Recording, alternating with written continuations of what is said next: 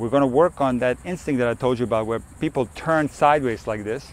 So now that you have this wood in front of you, it's gonna be more of a safe feeling because you can protect yourself from the ball with a piece of wood.